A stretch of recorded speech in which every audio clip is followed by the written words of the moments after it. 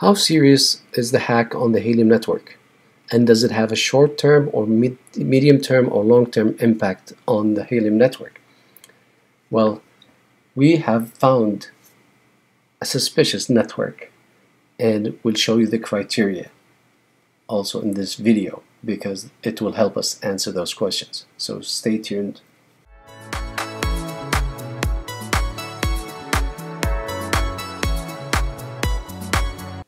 So I received a lot of messages asking me about the hack and what's going on with the hack. I checked the Discord. I was checking out the Helium communities, trying to find out what uh, what have they reached and what's going on. But then I was like, for me to understand how big this problem is or how small is this problem is to try to find these networks if they exist and how fast can I detect one with me just using Helium Explorer. Now, I'm not saying what I found is 100% a hacker or a scammer because I'm not a legitimate party. I'm not part of the Helium company to claim so. I'm just saying this is a red flag network.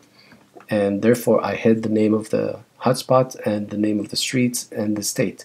It's all I can tell you. It's in the U.S. And that's uh, what you, we should know until the Helium decides if this is a hacker or not. For that sake, this is for educational purposes. This is not a legal or financial advice of any kind.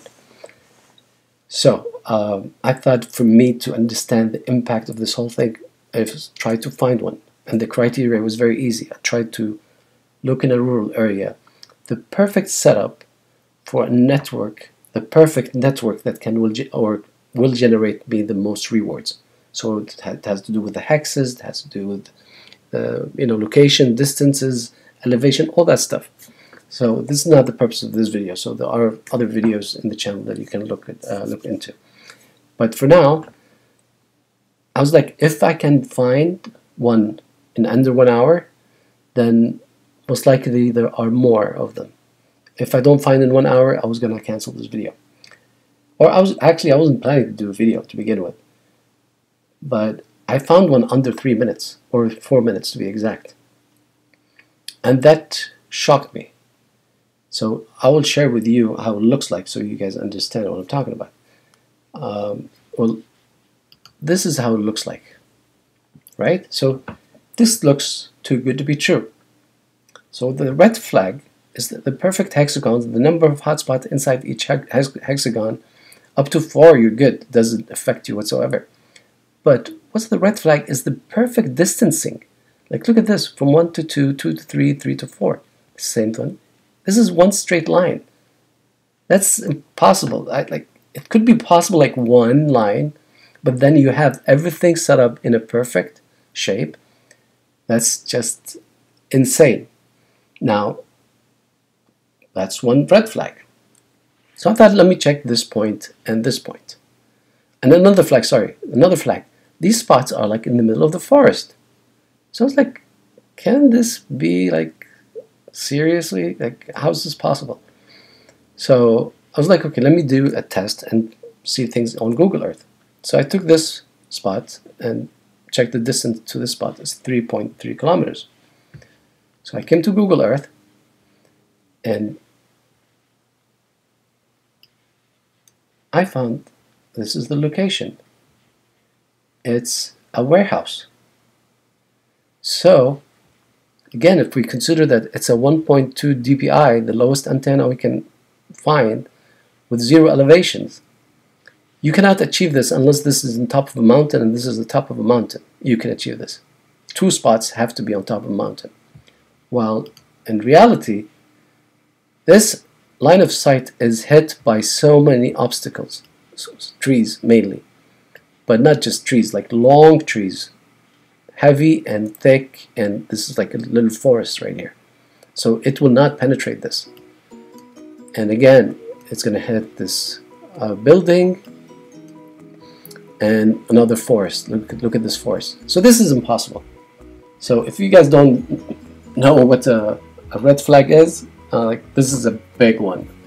I don't know if you guys agree or not, but what else can be, you know, so perfectly made? So, um, so that's the red flag. Now, again, the impact is dependent on how spread this virus is. Um, I'm gonna do another hour once I'm done with this video. I'm gonna see how many can I detect. If I detect more than five in one hour, then I will consider that this virus is well spread. Um, if I detect less than two, that means just few people that entered this network and you know taking advantage of it.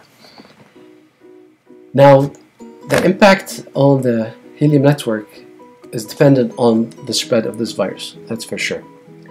But what are the solutions?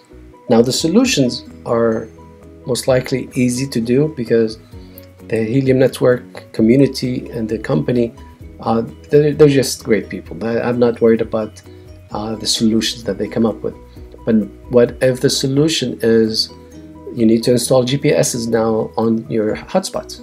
What if? I don't know. What's the answer for that? So we need to wait for the proper solution to resolve this issue because now that it's been leaked that there is a way to hack the system, you need first of all to solve this. So whoever like ban them, blacklist them, do whatever you want. But then you need to build a layer where it cannot be done in the future. And from you know a perspective uh, of feeling confident, I'm happy that it happened now, not when we're 240,000 hotspots, because it's easier to fix.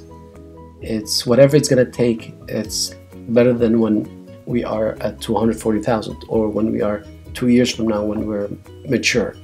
So um, it's going to happen. I mean, uh, some people say, hey, how come Helium did not think of this? Well, I think Helium, they built a system to protect it from external hackers. They never expected that people would come in into the community and start hacking their own system. So I think they're shocked as much as we all are because you're already making passive income. Why do you need to just, you know, nail it to the ground, right? So it is not healthy. It's uh, I think it's going to be a short-term impact.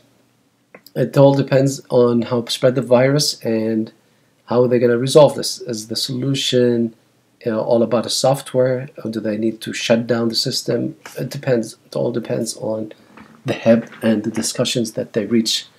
Um, that they reach. So for now, um, I'm going to update you whether or not I can detect five or more if just one person or two people or three, that's not a big deal.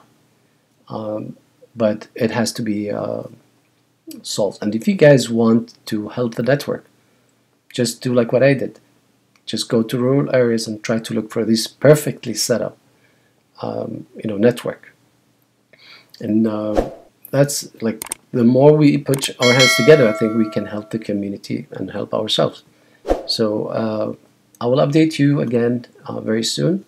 And if you guys like the content, please subscribe and flip that bell. And we'll talk to you soon.